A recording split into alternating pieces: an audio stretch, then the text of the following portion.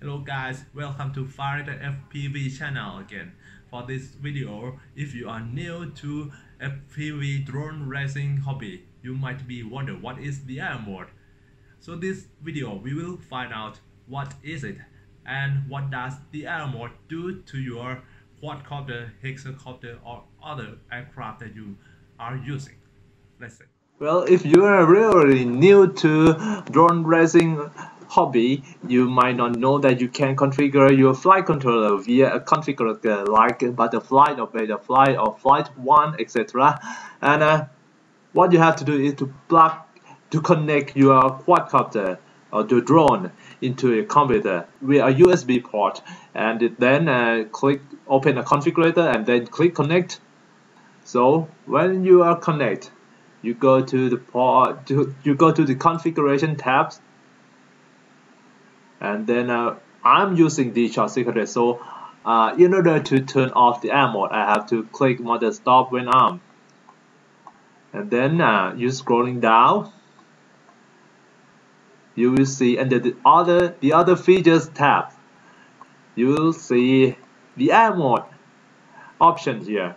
And the switch is is off uh, in default it is off. And if you switch it on it will permanently enable mode for first example we I will uh, turn off the switch first because I you can set it up here and click save or and reboot or the another way to enable mode is under the mode tab. Here you see you will have angle mode horizon mode and here air mode so uh, you might think that the air mode is a flight mode similar to angle mode or horizon mode which is uh, will maintain the, the wing level uh, parallel to the, the skyline all the time parallel to the earth all the time when you not move your stick. But uh, actually is not. The air mode is not a flight mode. Uh, so here if you set up an air mode in the mode tab here you can uh, put it on a switch which I set it on auxiliary 3 and if I flip my switch here to this range it will turn on the mode and I will use this switch to show you uh, what is the mode and what does it do to your quadcopter so here we click save and if it's disconnect I will and we will look at the my quadcopter to show you the example of the mode so here how is how the things work when air is off. When air is off, when you arm your quadcopter, motor will not spin, right? And nothing happen. But the back, but it will spin when you raise the throttle like that. It will spin when you raise the throttle. And if you're flying, you're flying, right? And you accidentally or intentionally lower your throttle to the lowest position, the motor will stop even in the air. The motor will stop spinning even in the air. And it will start falling down. And it can be, uh, the attitude can be changed by external force like wind or the weight balance of the quad itself. It may falling down yawing it may fall falling down banging, it may fall falling down pitching, and you cannot control it because whenever you lower the, the throttle stick to the lowest position, any the motor are stop. Any command through the stick input will not have res any response from your drone. So you lose the command while you are flying. In the contrary, if you turn on the air mode, when you turn on the air mode, whenever you arm the quad, the motor will spin, no matter what the position the throttle is. And the benefit of it is when you are flying, yeah, you're flying, right? And you lower your throttle to the lowest position the motor is still spinning.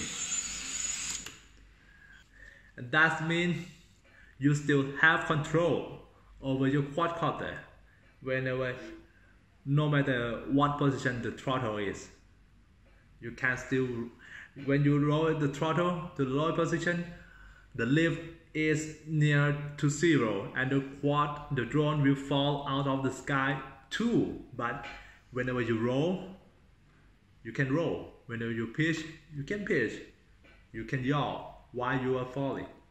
And if you do not uh, command any stick position the mode will keep the attitude the same all the way through the fall.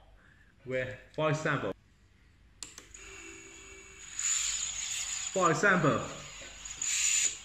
you lower the throttle to the lowest position at this attitude. It will fall down this attitude all the way down to the ground. Well if you does not recover your quad that's the benefit of air. So another characteristic when uh, when you turn on the air is when uh, when you fixing your quad on a table and then you must remove your props. Because whenever you want to test it and you arm switch the motor will spin. And then another thing is that uh, if you arm the motors and you rest throttle a little bit.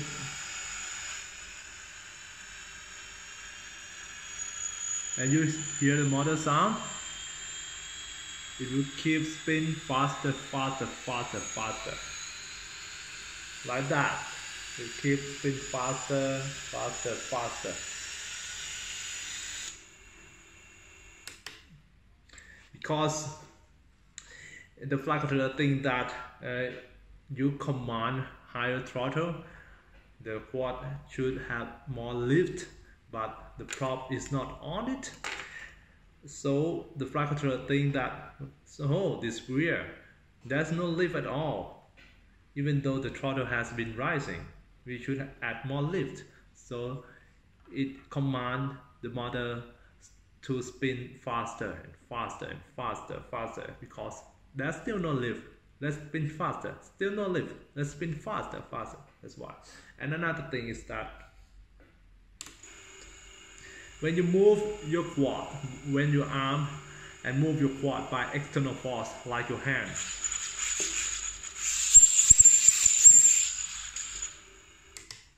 this is normal. Because the same thing happened. The flight controller think that there is no command input no stick movement. There's no command input. So the the drone should still sit still should sit still. But uh, when you move by external force you make the quad move banging like banging left. The flight controller think that well there's no command we should still be at this attitude. So if we bang let's increase the left motor to spin higher in order to increase the lift and move the drone back to the same attitude because there is no command. We should stay at the original attitude. That's why. So these symptoms are normal okay? And that should be all for the air mode if you have any more questions please leave in the comments below and don't forget to like subscribe for the FPV channel Thank you. See you next time.